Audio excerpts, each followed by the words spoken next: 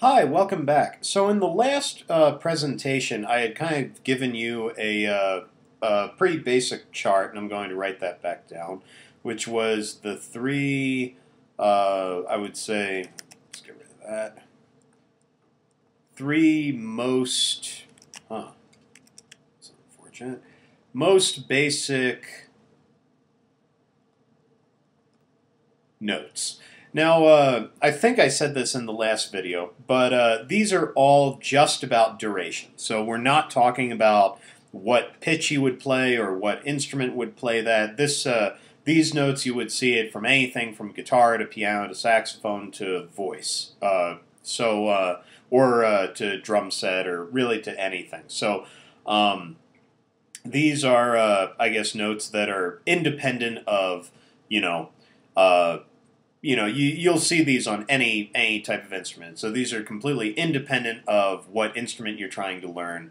Uh, you will still see these notes. And the first note was a quarter note, and the quarter note looked like that. And I'm going to label it like that. I hope I'm not confusing anyone with this uh, fraction notation, but uh, if I am, I'm also going to write this is a quarter note. So one fourth is a quarter. And then also in 4-4 time, so in 4-4 time, this gets one beat. So then the next note uh, that we spoke about in the last playlist was the half note. And half note looks like the quarter note, except the quarter note has a, a filled in note head, like that, and the half note has an open note head. So it just kind of looks like an open oval, and it still has a stem on it. Uh, and this is the half note, which is why it's written like 1 over 2, which is 1 half. So it's a half note. And this in 4-4 time receives two beats. And then finally, I said that this one, I wrote just wrote a 1 like that, showed that the last uh, most basic note that we're going to cover in this first unit, I guess, is a whole note. And that just looks like an oval, like that.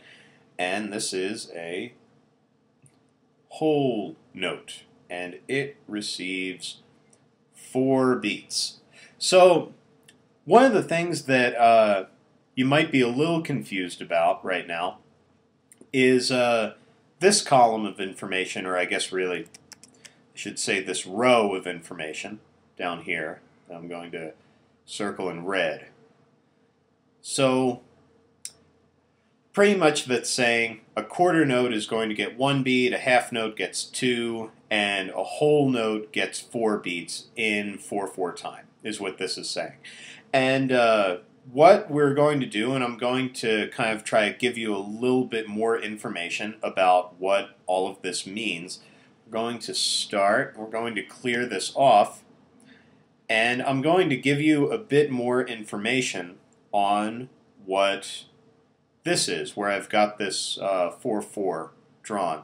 Uh, and this is what's called a time signature. And that's uh, pretty much what this uh, video is going to be about, and probably the next video too. Okay, so this video is going to be all about, get rid of these tools. This video is going to be all about time signatures. So uh, a time signature, and I'll kind of write this, maybe I'll do it a bit smaller than I had been doing it. Uh, hmm, want that. So a time signature, that's really annoying. Okay. So a time signature goes on our uh, five-line staff. So I'll cover this probably more when we get into pitches, but uh, most of the music that we're going to be seeing or that we're going to be dealing with in this playlist is going to be written on five lines, and uh, we'll get into more of what these five lines mean later. But uh, one of the things that you'll see on kind of at the beginning of a bar uh, or at the beginning of a piece of music um, on the staff in five lines, you're going to see two numbers. So you'll see you'll see a number on the top right there and a number on the bottom right there. Actually, I'm going to change colors again. Okay.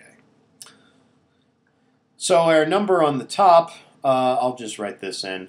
Um, the first time signature we're going to kind of be dealing with is what's known as common time, uh, and that is 4 4 times. So that means that we have a 4 on the top and a 4 on the bottom.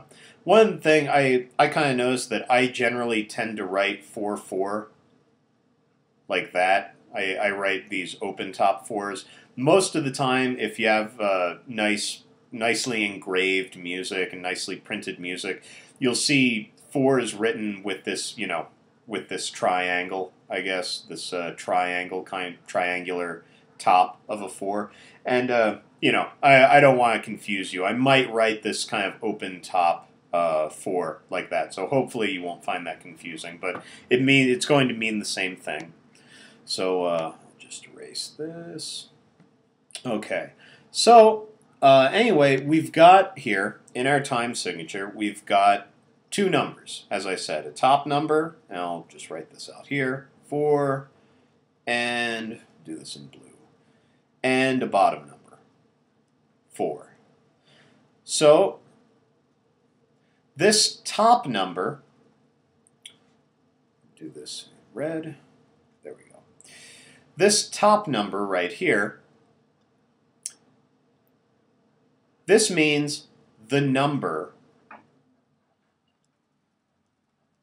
the number of beats per measure of music. So uh, one of the things, I'll kind of write this down at the bottom, uh, the way that music is sort of measured, I guess, or, you know, uh, kind of like how you can write, uh, you measure writing a book, you could measure, measure writing a book in paragraphs or pages or sentences. Music is sort of measured I guess, in measures, or they're sometimes referred to as bars. So you might you might hear measure, uh, you might hear me say a measure, or you know, uh, or a bar of music, and that's meaning the same thing. So uh, in this playlist, we'll probably do a whole bunch of examples of things that are going to be, you know, and I'll just write some music. So there'll be some music in this bar, and then say that there will be some music in the next bar. Actually, I'll just write this so it makes a bit more sense. And then there will be some music in that bar. And we'll do a bunch of examples in this playlist of music that'll probably be like three or four bars long. Uh, typically, if you were working with, um, if you were uh, writing, you know, if you were uh, you know, writing, say, a big band chart, you could have a piece of music that was a few hundred measures long. If you're writing like a full symphony, you could have symphonies that are, you know, uh, a thousand measures long. So music is uh, sort of measured in measures or bars. And uh, then I'm almost out of time. I'll give you this definition right now on what the bottom number is. So we said the top number is the number of beats per measure of music. And the question you might have is what get, gets the beat, or what is a beat of music? And that is what this bottom number is going to tell you. So this is just the note value which gets the beat. And with that, I'm out of time, and I'll have to see you in the next video. Thanks for watching.